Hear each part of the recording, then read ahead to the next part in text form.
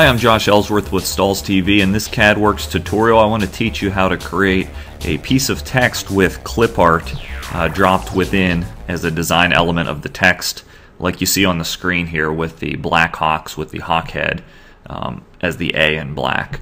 Um, so I'm going to delete this off the screen and show you how you can create this sort of look within CadWorx. And I'll start by adding some basic text, which is one of the fundamentals of CadWorx by clicking the Add Text button.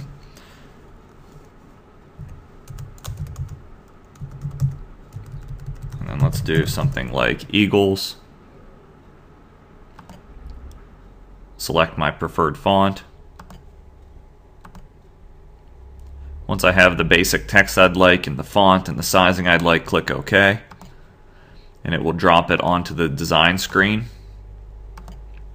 At this point, this text is reading as a single image. If I would like to uh, break it apart and work with the uh, characters individually, all I need to do is select it and go up to my shaping and break it apart by regions.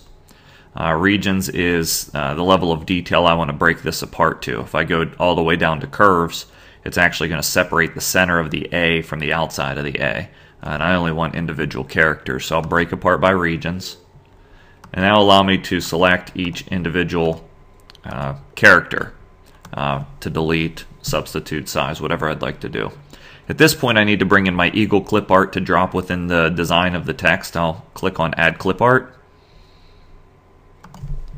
I can search for keyword Eagle, grab a design I like. It will drop it within the design screen.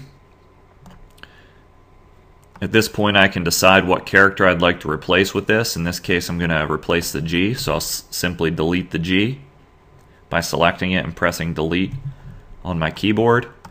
And then I'll drag the eagle into the placement I'd like it, size it by grabbing the corner handle of the design and clicking and dragging.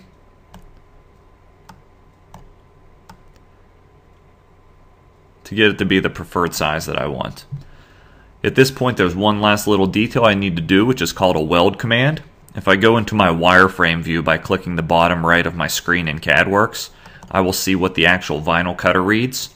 And if I send this to my heat transfer film, you can see the eagle wing is going to cut into the L, and ultimately it's going to finish the, uh, it's going to impact the finish application. Why heat apply this to a garment, you're going to see that these are cut through one another. It's not going to be the best quality. Um, so all I need to do is um, click and drag a box around both design elements and go up to my shaping menu and click on weld to join those pieces together. At that point it makes a one clean cut image. I can go back out of the wireframe view. I can select all of my design and group it together using the condense uh, command under the shaping menu.